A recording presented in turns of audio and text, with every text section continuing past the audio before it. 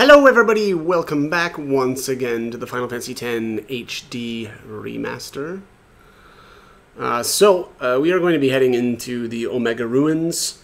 Uh, it is very important to keep one thing in mind when it comes to the Omega Ruins, and that's that there is a little bit of a mini-game uh, initially that is uh, decided immediately when you enter Omega Ruins, and that is there's a bunch of chests inside. And um, again, it's uh, it's kind of determined as you enter for the first time. So again, just keep that in mind, and I'll pick the commentary right up after our characters are done speaking. What is this place? 700 years ago, a monk who defied the teachings was sentenced here. Oh, the traitor Omega, yeah? Omega's loathing of Yevon has turned him into a fiend. They say he liked it underground, out of the light. So, he's here? Scared? Not a chance.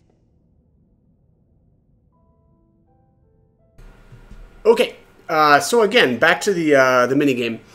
Uh, basically, there's uh, a total of 12 chests in here, and um, by the way, if it's your first time and you don't understand how Omega Ruins works, uh, do not save inside here. Uh, make sure, uh, yeah, I guess that you that you keep that in mind. All right, so, anyways, as I was saying before, there's 12 total chests in here, and they are determined, or I should say, what is in them uh, is determined the first time that you enter. So you cannot come in here and save and then reload and kind of change the orientation. Also, once you've started opening the chests, um, you can save, I guess, in the middle of it, but that's not going to help you out.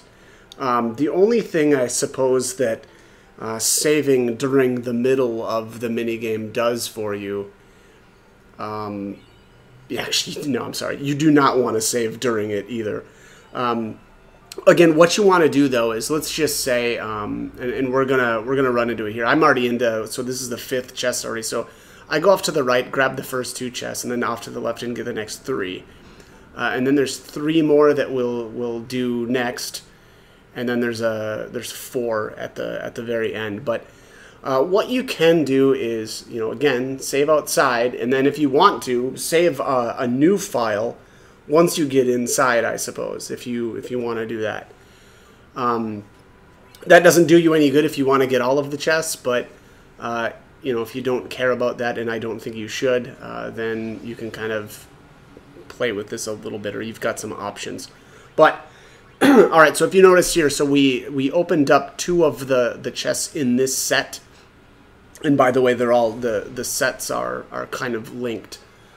Uh, or what I mean by that is if you fight uh, and you end up in one of these battles here, if you open up a, a chest and it turns out to be enemies in it, uh, what that means is the rest of the uh, chests in that set completely disappear, and um, and yeah, and uh, and so you'll you'll lose out on on any of those other ones. Now here I got at least somewhat lucky, right? Where the the chest that I opened that had enemies in it was the last one of the set and so um, you know I wasn't all that concerned about that. I basically what I did here was I determined or I decided uh, before I started opening chests that I just wasn't going to reset my game anymore because I had I had done that actually a couple of times.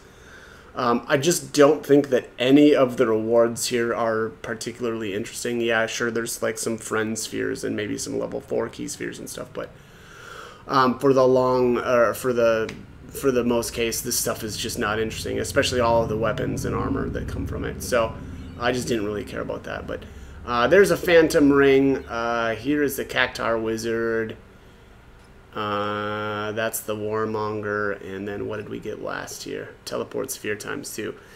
Um, the reward for getting all 12 treasure chests is something like 99 warp spheres or something like that, but who cares? Um, they're they're interesting, I guess, right?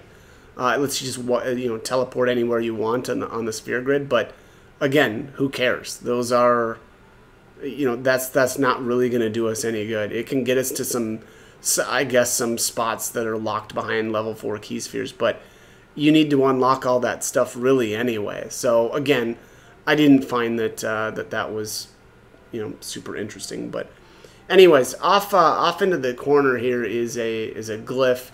We'll need to uh, interact with that in order to uh, get to one of the uh, one of the chests, which is a teleport sphere. Also, there's an Al Bhed primer. Uh, you know, pretty pretty deep in here, but um, I, again, as I've already kind of got you know or uh, reloaded my um, or compiled the Al Bhed uh, dictionary based off of an old save. Obviously, we're not going to then see it on the ground. But um, but yeah, as I said, I just I'll be honest. I don't think that the, the you know the chest mini game is worth honestly really worth even uh, reloading your game at all for. I just don't think that those rewards are you know they're certainly not one time rewards. There's other ways to get that stuff. And again, the weapons and armor are junk, you know. So um, you know, not something that I was that worried about. But anyways, right in here is where the the Al Bhed primer is at, um, or normally at, or should be at, I suppose. And um, that's you know something that uh, that you can grab if you want. But uh, at this point here, uh, you know, after we activate the glyph, we can then interact here with this, I guess, kind of another glyph on the wall, and then that's going to open up the path to the um, the teleport sphere. There's really actually only one chest in this area that's a static chest, I would say. Again, all of the other ones are uh, part of the mini game, but um, you know this is the a teleport sphere, and you know I don't know. Again, I I already had so many of these from playing Blitzball that I just didn't really care that much. But um, but anyways, here's here's where it's at, or this is the path to get it. Uh, but again, so anyways, back to the kind of the mini game uh, one of the other things that you can do is okay. So let's just say that you wanna you don't want to be here forever, but you want to get a couple of the chests at least. What you can do is save immediately on the uh, inside, and then you can actually run around and open up the chests and learn where the mimics are at if you know if you're if you if there are any and there most likely will. The chances of you opening all 12 chests are almost nothing. It's like half a percent. So it's it's garbage.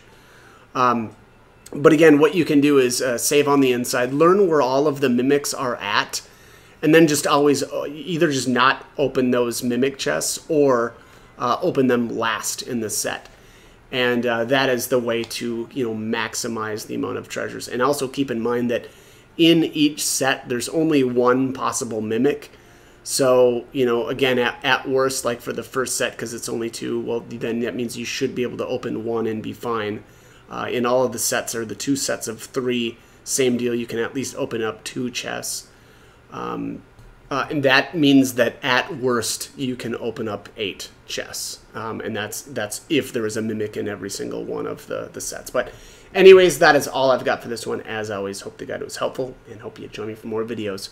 Thanks for watching.